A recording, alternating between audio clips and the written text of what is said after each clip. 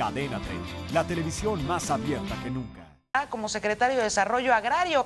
Hasta hoy era el vicecoordinador de Seguridad y Justicia en el equipo de transición de Peña Nieto. Este político mexicano, militante del PRI, tiene 51 años, originario de Mérida, Yucatán, donde fue diputado local y presidente del PRI. De 2010 a 2011 fue presidente de la Cámara de Diputados, licenciado en Derechos, en Derecho, perdón, y tiene estudios de posgrado en Derecho Parlamentario.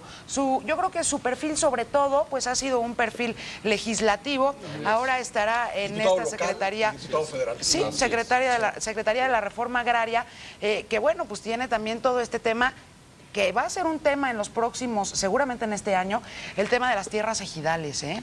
Ojo, yo creo que va a ser uno de los temas de los que más vamos a oír hablar en los próximos, en los próximos 12 meses, durante el arranque del gobierno de Enrique Peña Nieto. Entérate de los últimos acontecimientos de México y el mundo en Cadena 3 Noticias. Síguenos en Facebook como Cadena 3, en Twitter como arroba cadena 3-mx y suscríbete a nuestro canal de YouTube Cadena 3 Noticias e infórmate de los videos que a ti te interesan. ¿Quieres ver más? Te recomendamos estos videos.